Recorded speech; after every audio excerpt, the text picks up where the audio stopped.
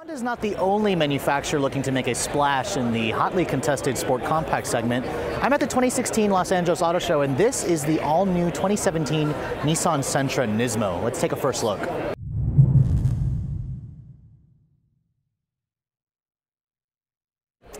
Since Nissan introduced this current Sentra back in 2013, it's been rather a sleepy model, especially for all you Nissan enthusiasts who remember the previous Sentras with the SR20 motor. Now you can see I'm standing by what Nissan is calling the hottest Sentra the company has offered in a long time. This is the all-new 2017 Sentra Nismo. It takes a lot of performance goodies from the just introduced Nissan Sentra SR Turbo, including uh, that turbocharged engine underneath the hood. Now you can see looking at the front of the car, um, all Nismo versions will come with this red double-winged front fascia is what Nissan calls it. And the car will only be offered in four colors, this white, black, silver, and a gray finish. It goes really nicely with the overall contrast. Now, if you're looking at the rest of the front, you can see um, Nissan updated the Sentra uh, last year. Um, all models will come with the, with the xenon headlights with the LED daytime running lights, and the overall proportions of the car definitely look a lot wider. Now, the reason why the car looks a lot more aggressive is because Nissan actually lowered the ride height in relation to the old Sentra. It's about uh, a half inch lower versus the SR Turbo, so it gives this car a much more aggressive stance.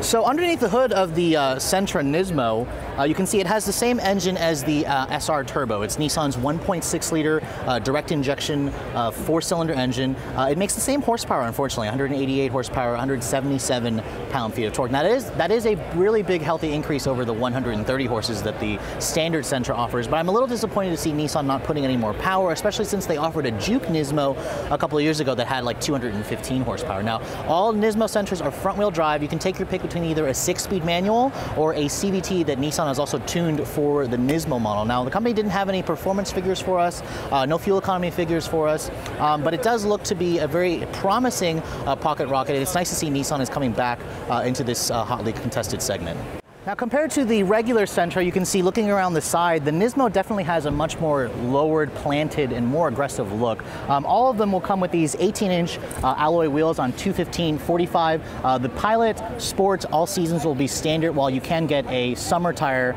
a Bridgestone summer tire if you guys want from the dealer as an, as an option. Uh, and you can really tell from the side just how much lower the Nissan did lower the car. Like I said, it's 0.5 inches lower, and it gives this car a pretty aggressive stance. I really like the proportions that Nissan has done done to this particular Sentra, uh, you know, just kind of puffing it up, making it look a little bit more aggressive. Now, looking at the rear of the vehicle, you can see Nissan uh, did also puff up the rear a little bit to make it more aggressive. The lip spoiler is nice and tasteful. You have this really low rear fascia with the same contrast um, in the uh, color that goes well with, you know, whatever color you guys decide to get this vehicle in. And then, of course, you have this really fat exhaust tip, which I'm sure Nissan has tuned uh, for Nismo applications, but I really won't know until we, we get into the uh, test drive and see just how much sportier Nissan has made. I drove the SR Turbo a couple of, or last month, and I wasn't too impressed with the handling, so Nissan says they firmed everything up for this uh, Nismo version to make it feel more like an SI, an ST, and a GTI competitor.